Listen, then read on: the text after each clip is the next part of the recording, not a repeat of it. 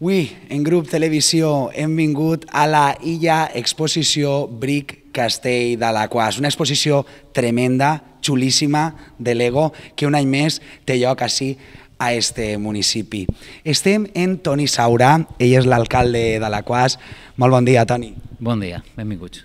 Castell de l'Aquàs, lloc per a la cultura, lloc per a la tradició i també per a, per a eixa inquietud que tenen els amics de Lego Valbric, veritat?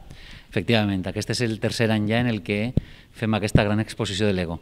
Gran exposició que cada any és més gran i bueno, això és el nostre objectiu, no? que cada vegada tinga una al·licient diferent per a que bueno, els amics i amigues que ens visiten cada dia tinguin un motiu per a tornar i els nous que evidentment s'afegeixen a aquesta gent que ve a, a gaudir d'aquesta exposició i també del Castell Palau de l'Aquàs.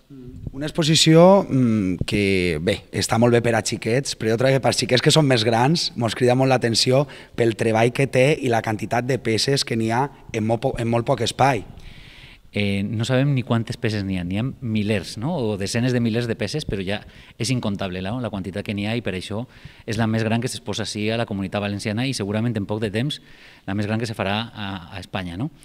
I efectivament, per una banda, podem valorar aquest treball, no? i després també està tots els aficionats, amants, fans no? de l'ego, que bueno, podem vindre i gaudir de les construccions que tan meravellosament bé fan els amics de Valbric, no? aquesta associació que col·labora amb nosaltres i sense la qual aquesta exposició no seria possible per a fer la realitat i que tot el món pugui gaudir d'ella. Mm per a que els nostres televidents eh, tinguin una idea, encara que tenen que vindre eh, a veure-ho in situ.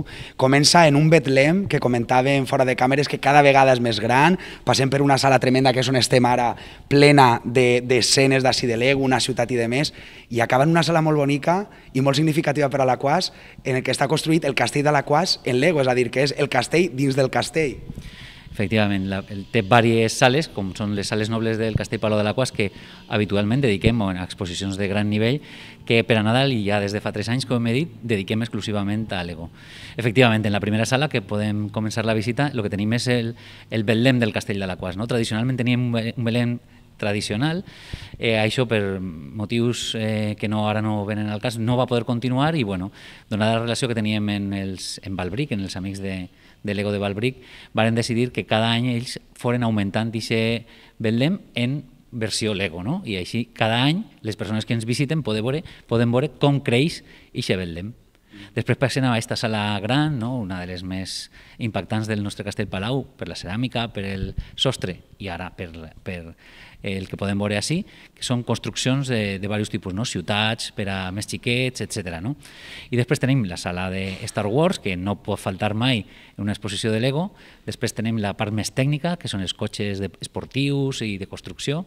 I per últim tenim la d'edificis i efectivament ahir tenim el propi Castell Palau de l'Aquàs construït pels amics de Valbric eh, exposat no? i que va ser des del primer any i és una més de les atraccions d'aquesta gran exposició.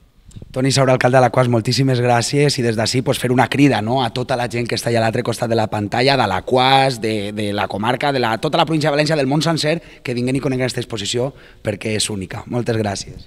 Moltes gràcies a vosaltres. Recordar que aquesta exposició estarà fins el 16 de gener oberta i fins a Reis, els diumenges també de matí i de vesprada, està oberta, és gratuïta i convidem a totes les persones que s'apropen, que no solament podran veure aquesta magnífica exposició, sinó també el nostre Castell Palau, monument històric artístic des de 1918, monument del segle XVI, que, bueno, igual als xiquets els agrada més l'exposició, però als pares i a les famílies pues, poden gaudir de, de l'edifici també.